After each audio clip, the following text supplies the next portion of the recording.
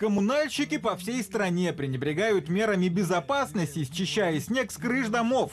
Вот кадры из Тюмени. Как утверждает автор, рабочие не просто не выставили ограждение, а буквально сбрасывали снег на головы прохожим. При этом, по его словам, снежная масса даже упала на коляску с ребенком. Вот только в объектив этот момент уже не попал.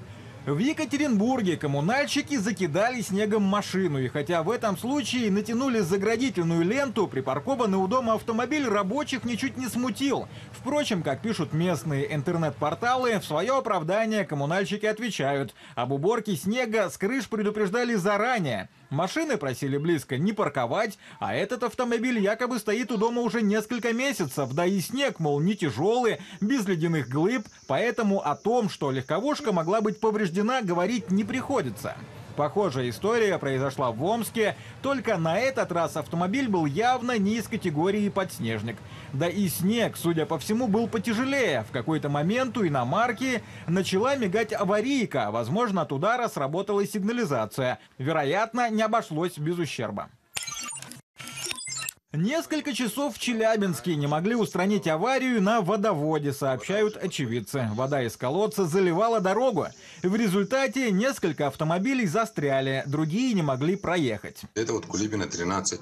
С колодца льется вода, никому ничего не надо. Машины застревают. Первая машина застряла, вторая машина застряла. Вода уже подходит к подъездам. Утром женщина подходила с ЖЭКа, вызвала аварийную. Аварийная целый день простояла. На обед съездили, после обеда приехали и также стояли они. Вот смотрите, как машины застревают. Автокран рухнул в реку с временного моста в Приморском крае. Происшествие успели снять на мобильный телефон. По словам очевидцев, водитель не рассчитал габариты КАМАЗа. Когда въехал на насыпь, под весом тяжелой машины песок начал осыпаться, кран юзом потащило вниз.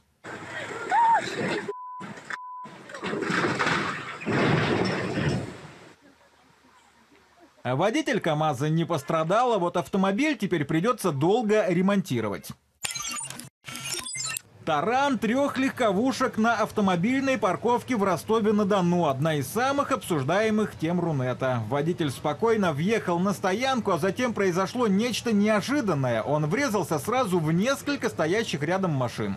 Теперь пользователи гадают, что могло стать причиной столь странного поведения ростовского автолюбителя и радуются, что он приехал не на КАМАЗе. Настоящая драма разыгралась в одном из дворов Стерлитамака. Мужчина повис на высоте третьего этажа. Сообщается, что он хотел спрыгнуть, но его успели вовремя остановить и подхватить. Вот что творит, а? Что творит? Удерживаемый за руку горе Человек-паук провисел несколько минут. Попытки затащить мужчину обратно в квартиру не увенчались успехом.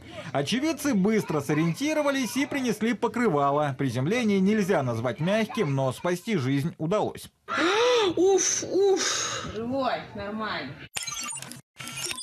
В соцсетях бурно обсуждают вот эти кадры из Норильска, сделанные во время недавней бури. Мальчик с рюкзаком на спине пытается противостоять стихии и идет против ветра, порывы которого достигают 30 метров в секунду.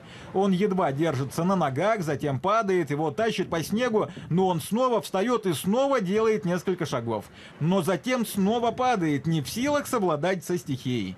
Пользователи задают множество вопросов. Кто его выпустил из дома, Куда он шел, ведь школы были закрыты, какое важное дело могло заставить его так отчаянно сопротивляться ветру, и главное, почему ему не помог прохожий, который также попал в кадр, или водитель, проезжающий мимо машины. И, наконец, почему же сам автор этого видео просто снимал происходившее, но не спешил прийти на выручку ребенку.